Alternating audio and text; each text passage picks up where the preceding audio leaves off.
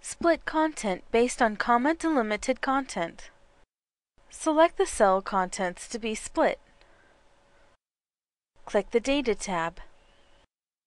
In the Data Tools area, click Text to Columns. In the Original Data Type area, select the Delimited Radio button. Click Next.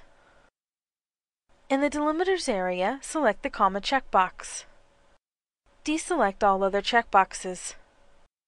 Click Next. Select a column in the Data Preview area. In the Column Data Format area, select the Text Radio button. Repeat this procedure for all of the columns.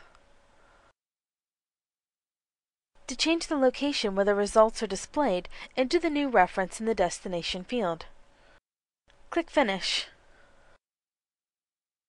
This is the process to split content based on comma delimited content.